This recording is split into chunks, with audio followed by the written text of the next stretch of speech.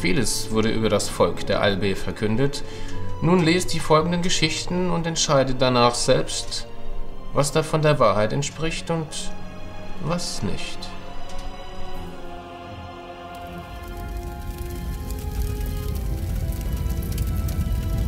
Sinteros und Kafalor sind die Bösewichte, wenn man so möchte, aus dem ersten Teil der Zwerge. Sie gehören zu den Albe und die Albe haben jetzt das Recht darauf, aus ihrer Sicht zu erzählen, was alles im geborgenen Land passiert ist. Es wird darum gehen, ihre Kultur näher vorzustellen und was die Helden so alles erleben.